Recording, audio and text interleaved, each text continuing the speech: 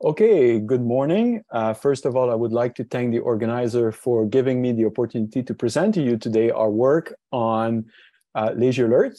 Uh, basically, the diversity you can get using Leisure Alert and also a long-term storage method for it. So why storing samples? Well, uh, basically everybody that has faced, you know, outbreak investigation that have been involved in finding the source of Legionella pneumophila uh, has been faced with this kind of situation. So on the clinical side, you have an aggregate of cases that all have the same sequence-based type, in our case, ST1 here. And because of the delay in getting that information, the outbreak is declared a few weeks after the Legionnaire disease cases are diagnosed.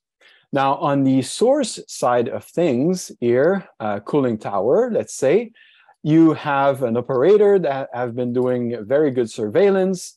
Uh, they have a positive results on that date, and that means that this tower was contaminated a week before with Legionella, so it could very be the source of this outbreak.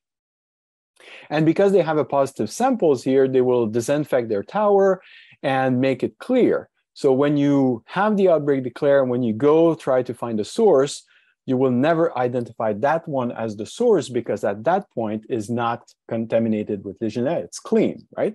The only way you can actually identify this cooling tower as the source is if you have stored this Léger alert in some way. So we're going to talk about this today. So for this study, uh, basically finding what kind of FSTs you can have with Léger alert and finding a storage method, we based this study on 418 water samples that we collected over a course of 11 months, both from non-potable and potable water systems. For non-potable water systems, we had 24% positive rate with Léger alert, for potable water, 76%, we have a very high positivity, positivity rate because we focused on two water systems that were chronically contaminated with Legionella. Now, with those Léger alert packet, the positive Léger alert packet, we isolated strains from those Léger alert packet, like so. So we took the valid result, the Léger alert that shows normal well appearance, we made a composite of the positive well and we plated that on GVPC plates. As you can see here, this is a valid result. And from the colonies that grew on that plate, we plated that on uh, plate with and without cyst. So we did the cystine test. And the colonies, we sequence-based type 1 colony from each packet.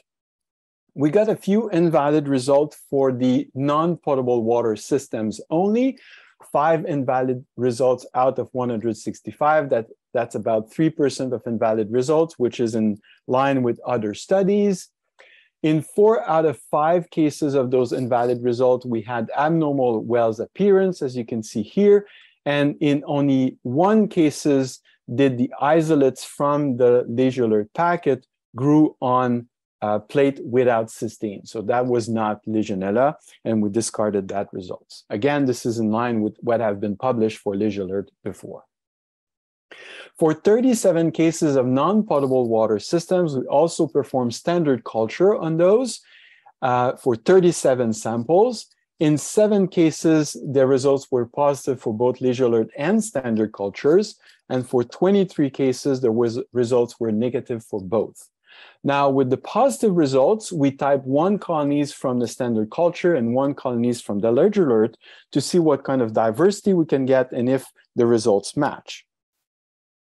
In six out of seven cases, we got ST1 for both. This comes from one system was, was that was contaminated with ST1, so we expected that results.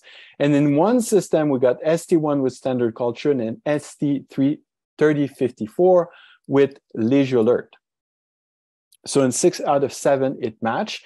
Of course, in that case here, it can be postulated that actually you have both in the system and it's just by random chance that in one case we got ST1 and the other we got ST3054. We got also other STs with Léger alert, but in that case, we didn't either do standard culture or in that case, we actually uh, didn't get a positive results with the standard culture.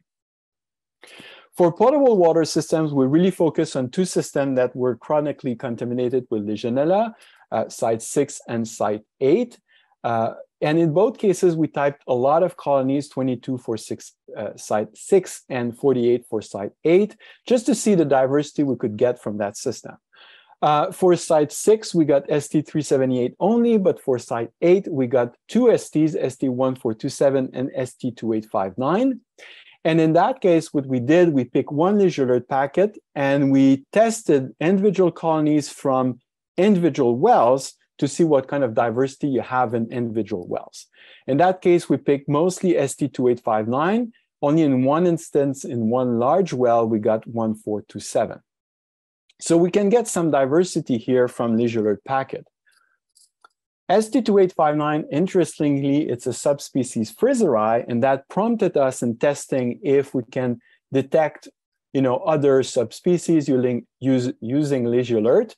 So we tested in vitro if we can get Pasquarelli and Raffaelli, and we confirmed that leisure can detect those two subspecies as well. Because we had so much ST2859 isolated from that trace, we uh, tried to see if we have variants in there in that ST2859 uh, population by doing single nucleotide polymorphism analysis using whole genome sequencing. We use KSNP3 to uh, do that SNPs-based analysis. And we uh, we tested isolates from different wells just to make sure if we get diversity in the composite of the wells. Here I'm showing you that for ST2859, there's two population, variants A and variant B that differs by 40 SNPs. And if you do, uh, if you test a large well, you get both variants. A small wells, you get only one variance. But then from the composites, you can get also both variants. So Leisure Alert is able to pick up diversity that most likely represent the diversity of population of Legionella within water systems. For storage, we tested multiple different conditions. I'll summarize that quickly. If you just store the packets at four degrees Celsius, you get about the survivability or culturability for five months. And after that, you don't get really colonies out of it. If you just store it at 40 room temperature or minus 20 as is, you don't really get survivability at, at all. But if you add glycerol either directly in the leisure media, or if you resuspend the, the, the pellet that comes from the leisure media into AYEs and add glycerol, you get actually very good survivability as can be shown here. So this is glycerol sample either at minus 20 and minus 80. And you can see that after 12 months, you have good growth on uh, CYE plates. Uh, the other conditions, you don't really get growth, so it's not a very good storage method. In conclusions, we can detect, you know, uh, subspecies Pneumophila, Fraseri, Pasquarelli, and Raffaelli using uh, Alert. You can detect a variable, uh, large diversity of uh, STs using Alert. It seems that by doing a composite uh, of the wells that are positive, you can pick up diversity uh, as well, and that most likely represent diversity that you have in the water systems. And by simply adding 10% glycerol to the leisure media that you get from positive wells and storing below minus 20, you get very good survivability after a year and probably much longer than that, that will allow historical investigation of samples. So this work was done by Sarah Matthews and Valer Valerino Reyes in collaboration with the group of Michel Prévost from Polytechnique Montreal. This was funded by NSERC Alliance grant, which was in part funded by IDEX. Thank you very much for listening to me.